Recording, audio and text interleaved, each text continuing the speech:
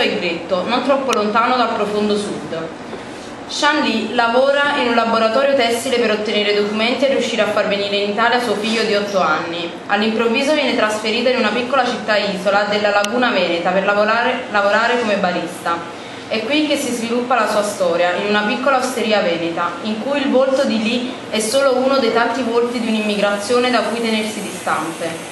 L'amicizia che Lee stringe con Bepi, pescatore di origine slave, spezza l'armonia, che si frantuma nelle menzogne e nella meschinità.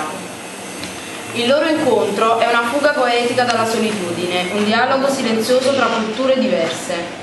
La loro intesa non sfugge agli sguardi limitati della provincia e delle rispettive comunità. Nasce piano una relazione che però, sebbene solo agli inizi, è malvista da tutti, sia italiani che cinesi.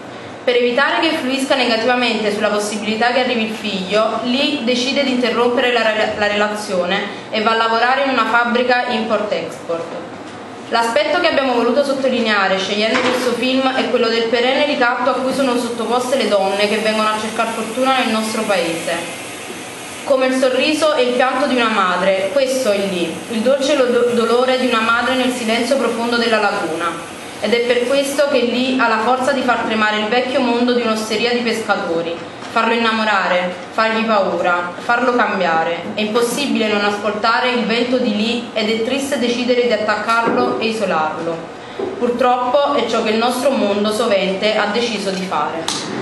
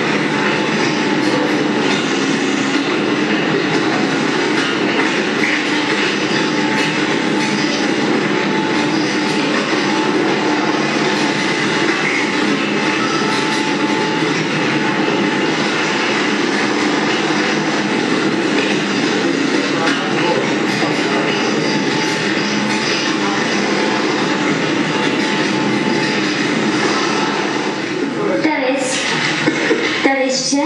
Non c'è. Davis non c'è. Non c'è. Grazie.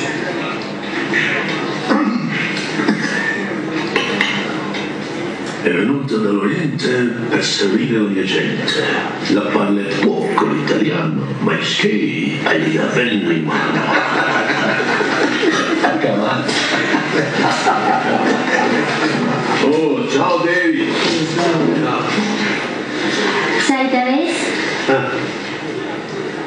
里 una chao di di chao do ao lo. Ali una chao do di di chao do ao lo. Tyylikäs, no se tässä. Tyylikäs Jumaa.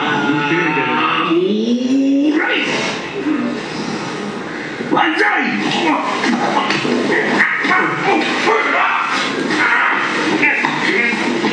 Kaikki maailma.